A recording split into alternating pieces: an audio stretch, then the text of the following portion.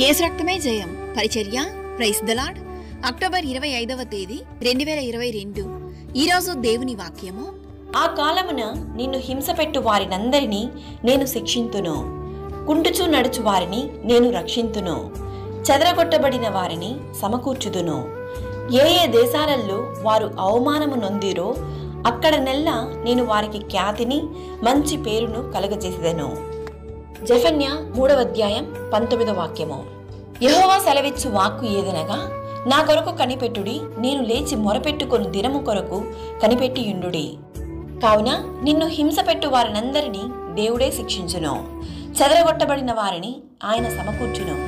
నిజముగా భూమి మీదనున్న జనులందరి దృష్టికి నేను మీకు ఖ్యాతిని మంచి పేరును తెప్పింతును ఇదే యహోవ వాక్కు. కావున దేనిని బట్టి మీరు చిందించకండి? ఇస్రాయేలకు రాజైన యహోవా మీ మధ్య ఉన్నాడు. ఇక మీదట మీకు అపాయము సంభవింపదు. సియోను ధైర్యము తెచ్చుకునుము. నీ దేవుడైన యహోవా నీ మధ్యనున్నాడు. ఆయన శక్తిమంతుడు. ఆయన మిమ్మను రక్షించును.